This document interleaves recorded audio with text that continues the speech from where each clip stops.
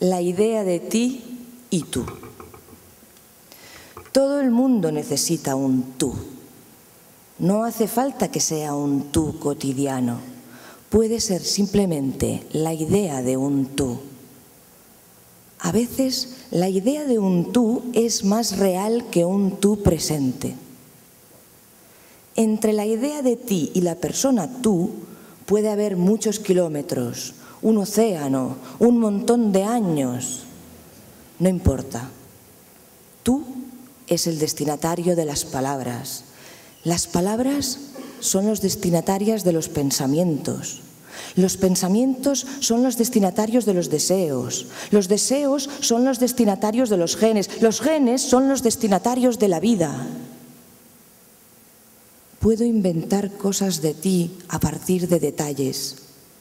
La sopa de tomate, la melancolía de los días grises, la música de Paul Simon. O puedo dejarte indefinido en el pronombre a medida que el recuerdo de una habitación de hotel se borra.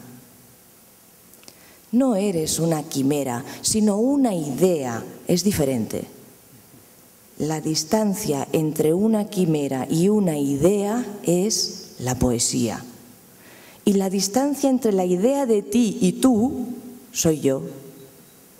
Pienso que ni tú ni yo somos malas ideas en todo caso.